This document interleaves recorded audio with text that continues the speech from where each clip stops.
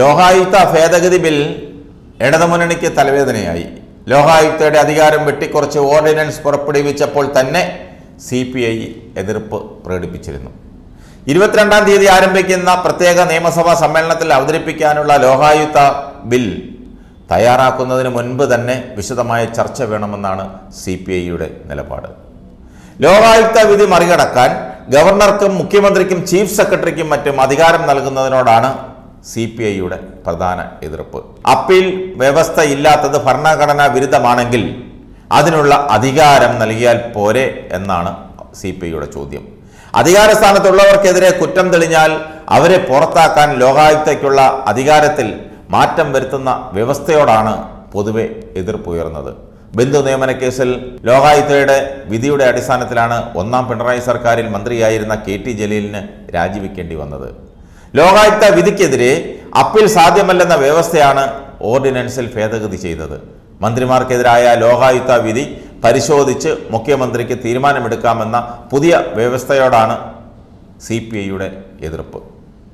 പകരം സ്വതന്ത്ര സ്വഭാവമുള്ള ഒരു ഉന്നത സമിതിയുടെ പരിഗണനയ്ക്ക് വിടണമെന്ന ബദൽ നിർദ്ദേശം സി പി ഐ മുന്നോട്ട് വച്ചേക്കും.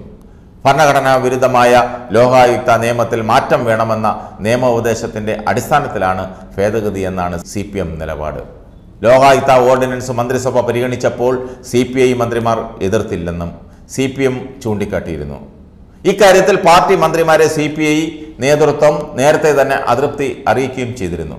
നയനാർ സർക്കാരിന്റെ കാലത്ത് സി പി ഐ നേതാവ് ഇ ചന്ദ്രശേഖരൻ നായരാണ് ലോകായുക്തയുടെ മൂലനിയമം സംബന്ധിച്ച ബിൽ നിയമസഭയിൽ അവതരിപ്പിച്ചത്. അതിൽ വെള്ളം ചേർക്കുന്നതാണ് സി പി ഐയുടെ എതിർപ്പിന് പ്രധാന കാരണം. ഭേദഗതി ബിൽ തയ്യാറാക്കുന്നതിന് മുൻപ് വിശദമായി ചർച്ച ചെയ്യണമെന്ന ആവശ്യം സി പി ഐ നേതൃത്വം സി പി എമ്മിനോട് ഉന്നയിച്ചു കഴിഞ്ഞു. സംസ്ഥാന secretary Kanam Rajendran C P എമ്മിനോട് വിധേയത്വം പുലർത്തുന്നുവെന്ന് സി പി ഐ ജില്ലാ സമ്മേളനങ്ങളിൽ ഉയർന്നു വന്ന വിമർശനത്തിന്റെ കൂടി പശ്ചാത്തലത്തിലാണ് സി പി ഐ നേതൃത്വം നിലപാട് കടുപ്പിക്കുന്നത്. ഇതിനോട് സി പി എം എങ്ങനെ പ്രതികരിക്കുമെന്നതാണ് രാഷ്ട്രീയ നിരീക്ഷകർ ഉറ്റുനോക്കുന്നത്. ഓർഡിനൻസിന്റെ കാര്യത്തിൽ സി പി ഐ എതിർപ്പ് പ്രകടിപ്പിച്ചപ്പോൾ ഉഭയകക്ഷി ചർച്ചയ്ക്ക് സി പി എം സന്നദ്ധത അറിയിച്ചിരുന്നു.